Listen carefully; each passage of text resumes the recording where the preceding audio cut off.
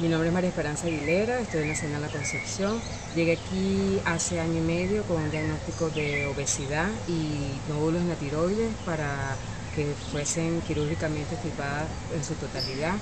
Este diagnóstico me hizo buscar otras alternativas que logré aquí en la Hacienda La Concepción con el tratamiento del doctor Efraín Hoffman,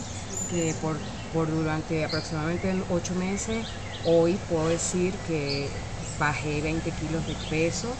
eh, la tiroides está funcionando perfectamente, ya no hace falta la operación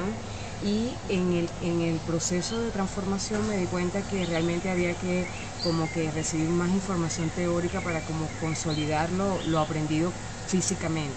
Y es así como me interesé en realizar el diplomado, que en este momento estoy haciendo el coaching, pero inicialmente hice el de gerencia